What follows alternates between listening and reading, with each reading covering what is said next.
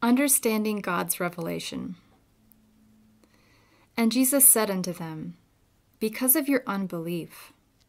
For verily I say unto you, if ye have faith as a grain of mustard seed, ye shall say unto this mountain, Remove hence to yonder place, and it shall remove, and nothing shall be impossible unto you. Matthew 17:20 Faith cannot be bought or earned.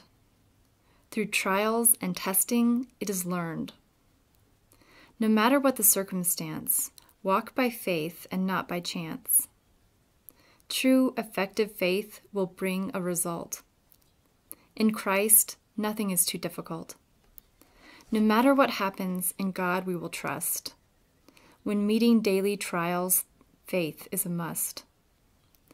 In order for our faith to be exact, with Christ, we are in direct contact. All are met with the test. Those in Christ can quietly rest. Faith is the believer's core. The Word of God provides much more. We are in the world, but not of it. We go in His name, there is none above it. When we are tested, our faith is pure and strong. It is the hope of our calling. To Him we belong. If we meet with contention, we will, to the Lord be true. Divine love and mercy will always see us through.